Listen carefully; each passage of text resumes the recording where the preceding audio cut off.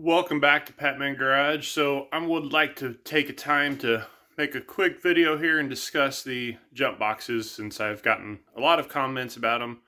Uh, so appreciate all the comments and questions. I've been trying to answer them as best I can, but uh, we'll just make a quick video and discuss uh, what all is happening here since I built them, or swapped the batteries, I should say. So uh, most recently, we had someone talk about how lithium's a fire hazard. I don't believe that. There's factory manufacturers using lithium batteries in cars, and you can get lithium jump boxes, um, or the little small booster packs and all that. But so I don't really believe that one, but whatever.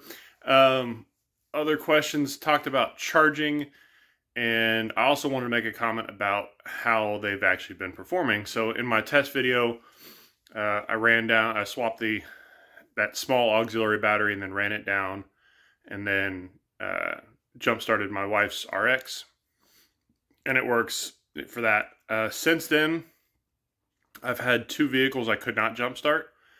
Um, one of them was a Silverado uh, 5.3. The battery was like beyond dead, and um, basically the jump boxes weren't powerful enough to jump start the truck and also um, kind of start charging a battery too.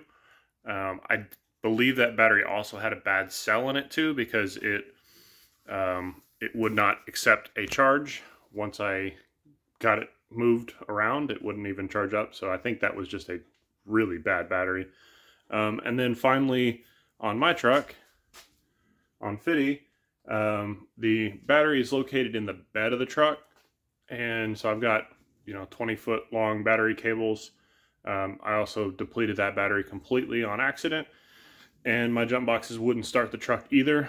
Um, they they tried and tried and tried, but they wouldn't do it, and it was just slow cranking. So I think in that case of being the remote battery, there just wasn't enough oomph to to again charge the battery and also jumpstart the vehicle. Um, and then as far as charging here, let's flip this camera around. As far as charging, um, so, you know, I still have the factory charger connecting.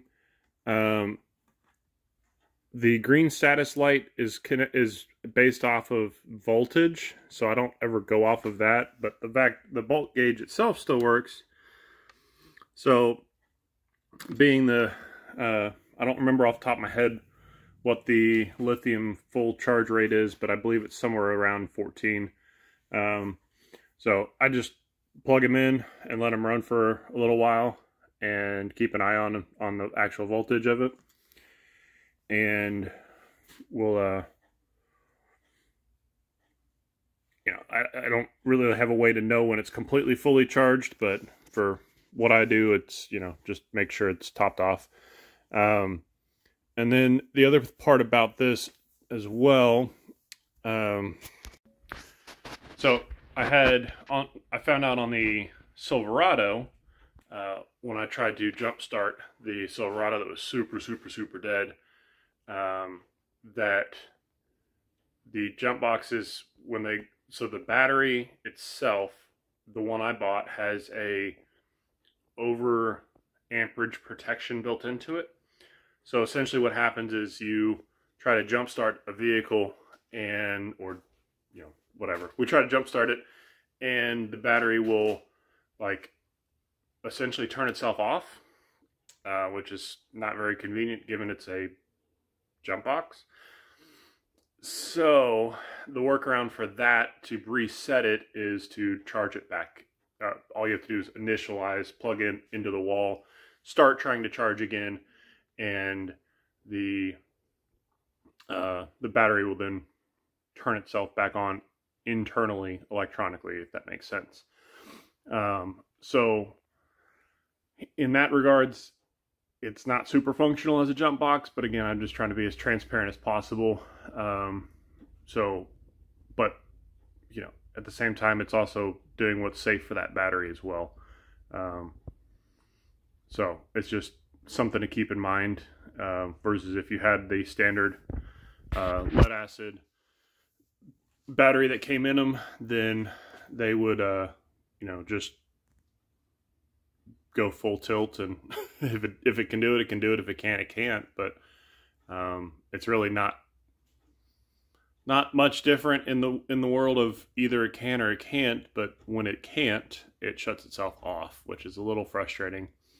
Um, but like I said, as long as you know ahead of time that it's a possibility, then uh, you can make an informed decision to decide if these batteries are right for you as well.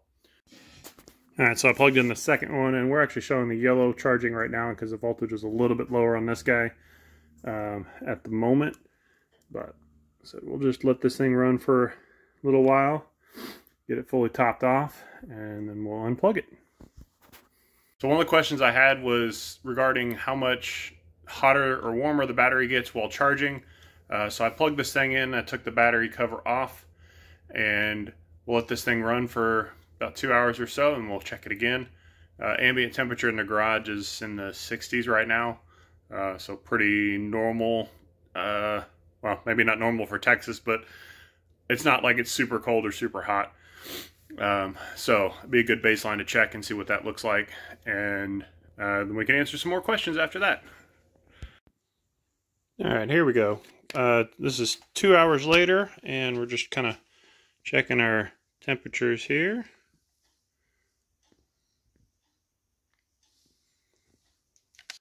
It's still showing 55 degrees. It's still cold to the touch two hours later.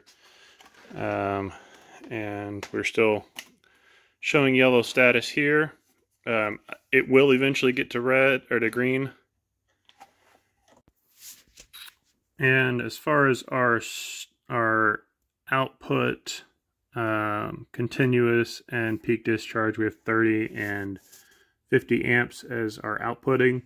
Um, so 50 amps is the highest output you can go. So obviously, if your battery is really, really dead, this will not replace the your battery to start the vehicle in most cases. Um, so you know, just keep that in mind. This is just a booster. This is not a replacement battery. So when I worked in the body shop, I always had uh, to explain that to people that these are jumper packs. These are not replacement batteries. So um, yes, you can get a little bit more amperage out of a uh, lead acid battery. Uh, that's that smaller size, but it's not designed to be an actual replacement battery. So don't be fooled by the fact that just because you can doesn't always mean you should. Um, so, like I said, just use your best judgment and understand that this has its limitations just like everything else does. Um, like I said, overall, I think I'm happy with the purchase. Um, I bought the batteries when they were cheap enough. Um, obviously, they've gone up a little bit since I made my original video. Um, but again, I, I, I bought them specifically for the lighter weight use. Um, I've proven it out on the wife's car in a different video up here. Um, so, you know, it it does work. It's just not designed to. It's not strong enough to charge a battery and start a vehicle at the same time. But honestly, my original lead acid batteries wouldn't do that either. Um, so, you know, that's that's just limitation of voltage. So you can't ever overcome that. Um, but just wanted to be as transparent as possible since I do have lots of questions about it and I do appreciate all the comments. I'm um, just trying to be as transparent as possible for um, that I'm not, you know, hiding that, oh yeah, this is great, and then never hear from me again. and um, also wanted to point out that I don't currently work in a shop. So my exposure to weak batteries is a lot less um, than when I did work in a shop. So it's not exactly the best in my case of being able to really put this thing through the paces. Um, I might at some point let my cousin borrow one of these jump boxes and let him test it out in his shop and let him uh, see what he thinks of it as well. Um, maybe a little independent review or something like that. So so I think that covers all the questions that I had in the comments. Uh, if I missed one, please let me know. Feel free to ask me again, and I will do my best to try to answer them. Uh, so I think we're going to wrap up on this video. So I appreciate you, and I'll catch you in the next one.